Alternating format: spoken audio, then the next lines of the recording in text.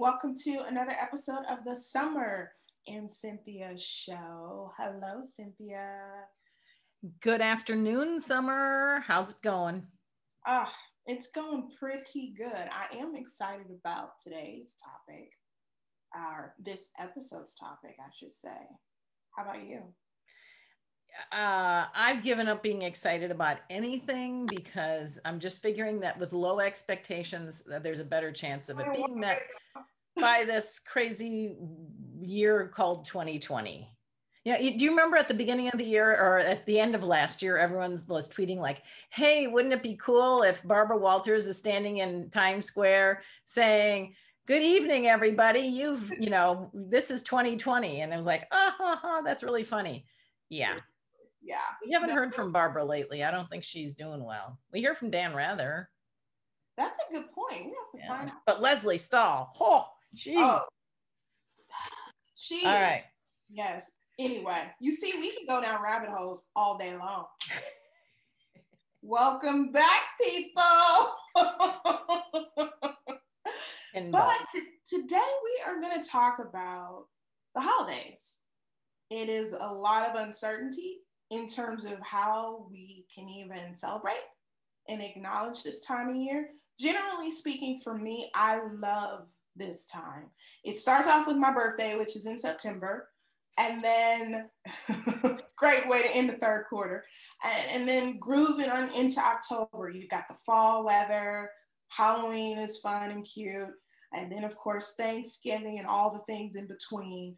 But it's just a usually a, a, joyous time of year, right? For whatever reason, we decide to be a little more decent and kind. I hate that it is only reserved for the ending part of the year. But in the world of COVID, the year of COVID, how do we try to move forward with maintaining traditions or perhaps starting new traditions? So first up is the challenge is the is of Thanksgiving for those who are celebrating obviously the doctors, Dr. Fauci, shout out to you always, uh, would prefer that we not have in-person gatherings. Or if you do, try to have them outdoors. In fact, I stumbled upon a good article in Consumer Report, recent edition, giving you ideas of how to do just that. What are you thinking about, Cynthia, in terms of doing for Thanksgiving before I get into some tips? Well, uh, so we are a very small family. I have a son who lives in Minneapolis, a daughter who lives in New York. Um, it would not have been, I, I think, even in co- without COVID, I don't know that we would have all gotten together just because, you know, it, with young adult, you know, people in their 20s with jobs, they don't get to take that much time off. And so if they're going to pick one holiday, it's more likely to be uh, the Christmas New Year break. Sure. So for us, it's not a big thing, it, but it will sort of, you know, it, it just means there's no parades, no Macy's Thanksgiving Day parade to watch nope. while I'm writing out, you know, holiday card envelopes. Have they called it officially? Yeah. I mean, clearly crowds can't go, but I didn't know if they were going to just have an empty one. Yeah, somebody was saying something about a virtual, and so you know, I I haven't really done the research on it. I did recommend to somebody that I thought what they should do is take an old rerun from like 1982 or 84, or do a montage of all sorts of clips, including some of the commercials, to just get a better sense of history of of, oh. of the pageantry of this very uniquely American tradition um, that you know how marching bands have evolved and and how people who are lined up you know wouldn't that be cool to see that? So maybe mm-hmm. i hope they recognize that there's some value in that. Of course if the if it was actually taped and preserved at a level that could be reshown here in 2020 um, that you know the archiving and the quality that that they would put some shows on was just for a short term sort of reference and then once x number of years passed it wasn't worth preserving or um, or archiving yeah that's actually a good idea if they decide to do that and i'm not sure if there's a game or not in terms of football i i don't watch nfl anymore so don't know yeah. but So it's going to be different. So this is an, an opportunity to create a new tradition. We honestly don't know what we're doing for Thanksgiving yet. Um, my husband and I are in Dallas, and I have some family here. Now, the latest tradition actually has been my mother would come to Dallas with us and stay for a week or so and hang out. That's not happening this year. And we would hang out with my family, uh, extended family here in the area, and my mother, um, as well as my mother in law, and, and do things. But yeah, this year, it's just going to be us. Um, we did have a conversation with my mother-in-law yesterday to tentatively. So as we visit my mother-in-law, we literally hang out in the driveway. Mm-hmm. Mm-hmm. to do it. Um, but we did propose potentially maybe bringing a meal and just eating outside in the driveway like we yeah, do. Yeah, yeah. We'll be doing that. But I mean, again, this is you. You've got to invent something. Mm-hmm and and but yeah, we don't have anything tinted or carved out permanently in terms of what we're doing that day, but it's open for interpretation. So some for those who have large families or you're trying to figure out how to gather with people again outdoor is the most highly recommended if you can do a, a, set up an environment like that another interesting tip they were giving was you know really Thanksgiving menu could be anything. Now, of course, we like to have the traditional meals. We usually don't eat those things until this time of year, but by no means are you obligated to do this. Like I, I've had several friends who are Italian and eat Italian food or Mexican food on it. So it could be whatever. But another idea kind of elevate things, especially when you think of traditional foods like that. There's a lot of passing around and you know, if you we're trying to stay safe, um, obviously having that type of setup isn't conducive for um, the COVID world. But they were like, even if you take sandwiches, I mean, I know that's like, oh my God, but maybe if you could do like some fancy turkey sandwiches or something, or something that's pre wrapped to where you're not going back and forth at the same dish and serving uh, utensils was the idea. Um, what do you think of that? you laughed at sandwiches for sure.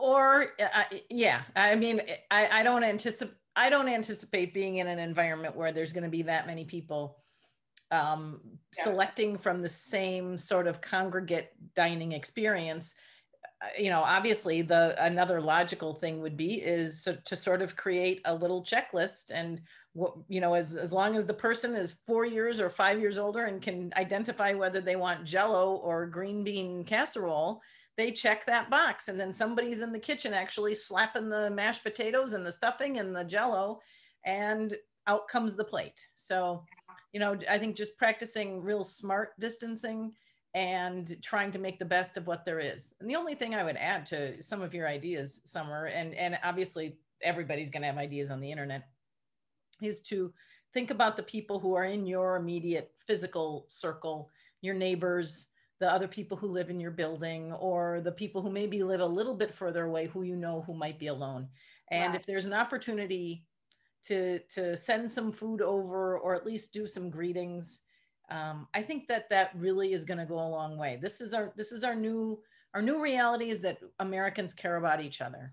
Right, right, and it's a great occasion to do that. And again, I think, eh, especially for those who may be alone during this time and, and perhaps have been all of this time, just because it, it has forced us uh, to an extent isolation from one another. Um, I've seen eh, ideas about the Zoom, and I know most of us are Zoomed out. but um, you know gathering with your friends and family virtually and either cooking together or when you make that meal you all sit down and just so I, there's no right or wrong way of doing this. It and uh, the only quote wrong way is just you know having a bunch of people in your house because unfortunately our, our counts are out of control right now. We yeah. are spiked up as a nation and we really can't get laxed right now, especially with just it's naturally the flu season now. It is cooler in a lot of parts of the country. So it's a recipe for disaster if we try to pretend this thing is not happening and you pile in 30, 50 plus, plus people into your home or in a closed environment, that's not necessarily smart.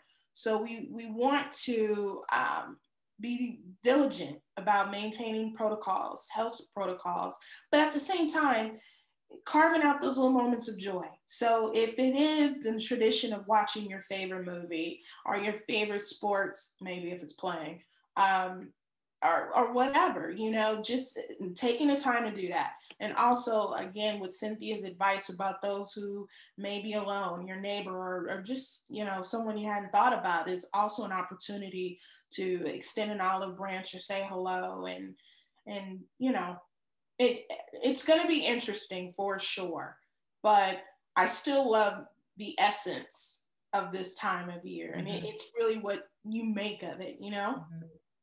absolutely mm-hmm. and and i guess the my only other thought on that as it as it then rolls into christmas which which has its oh, oh, christmas hanukkah and all of the the sort of year end celebrations and rituals and routines that we go through is that we will now at that point be entering sort of our 10th month of of lockdown or isolation. Obviously much more disciplined for people with uh, conditions. Correct. People who have really felt that they needed to stay as isolated as possible. Well that is now wearing on our psyche and ob- they're saying that that's obviously what's contributing to just this fatigue. Yeah. we have to recognize that within that fatigue and within that individual who has chosen to um, do right by themselves and also the rest of the i mean the healthcare uh, infrastructure by by trying to stay healthy they are probably missing people more than we can even imagine. They've fallen off our radar. Yeah absolutely. And and if the spirit of the holidays whatever religion you practice it out of and the spirit of thanksgiving and and and in the the positive spirit of thanksgiving not the the white people you know ran roughshod over the native americans because we have to recognize that too but still use it as that point of we have blessings all of us who are alive right now not the 240,000 people who celebrated with us last year we mm-hmm. are blessed to be in a country that is going to be free that is going to be in a mode of progress and rebuild and, and growth. We have a lot to be grateful for this year, as, as wretched as 2020 has been. Yeah. Don't just leave that for yourself and don't look at your glasses half empty, which I'm the first to say I do, but rather I need to think long and hard about who are the people who I know who won't have hit family either, who who can't travel to their own family, who maybe don't even have access to Zoom. And am I calling them enough? Am I doing, am I writing notes? Yeah. Get creative, people. We've got a lot of resources at yeah. our disposal. And also, if you have young people in your family, let them also build, add some of the color to what this unique, we hope one time only holiday season is going to look like. Yeah. Uh, they've got ideas too, and they have um, they have feelings and they have processing that needs to happen too. Yeah, and and like you're saying you know it's it's about remembering the reason for the season as well and and just upholding the essence of what these occasions are for um, and not necessarily you know looking at it like you said as a glass half full. Um, for me this year has been all about making sweet lemonade out of these damn lemons that life has continuously handed this year but you know we're gonna make it through. So eh, let's jump to december. What do you know what you're doing for christmas? You celebrate christmas? We celebrate christmas. We sort of celebrate hanukkah. We just you know kind of call it fan appreciation month. I love it. Um, it's it we don't really know. Um, we don't know what travel is going to look like. We don't know if air travel is available or if everybody's going to have to hop in cars and maybe we find a midpoint of all these of Minneapolis and New York and Chicago. We just don't know. So um, that sense of uncertainty is uh, um, making me a little crabby. And i don't know that i really want to put up decorations here in chicago because that likelihood of us having the holiday here is kind of slim. Or if it is the holiday it's just going to be the two of us and and i'm going to be very cranky so. Well i can't wait to put up my christmas decor okay? And i'm respectful of the flow and the chain. And, and that's not a dig to those who already have their christmas stuff up.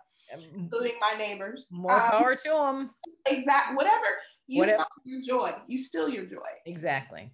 exactly but i tell you literally the next day after thanksgiving it is full blown winter wonderland.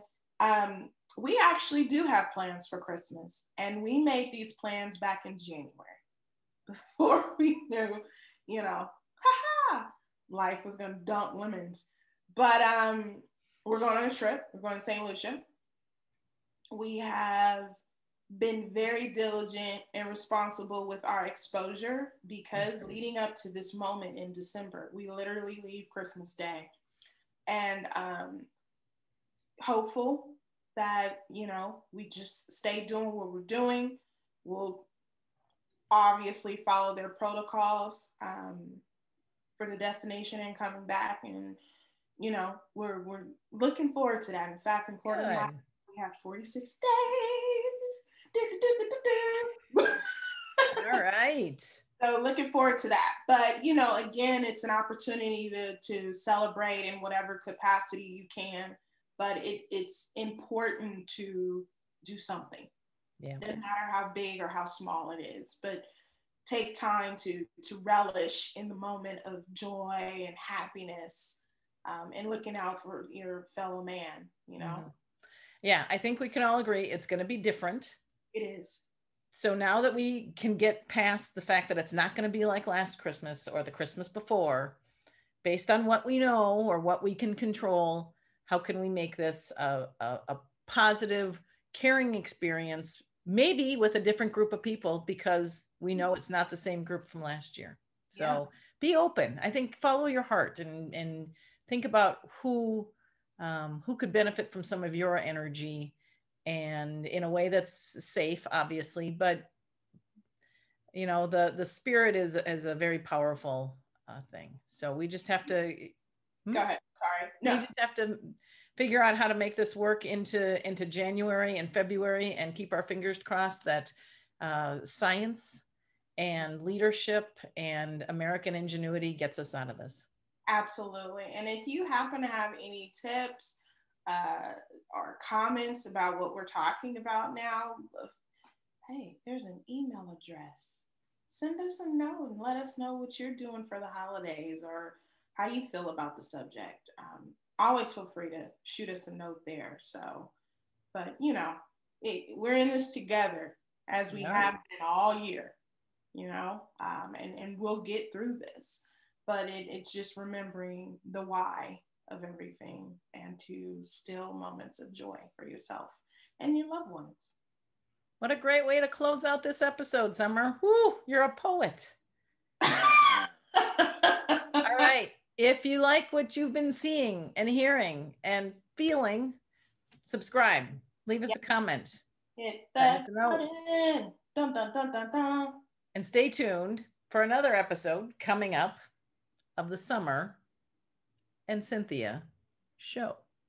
Ta-da.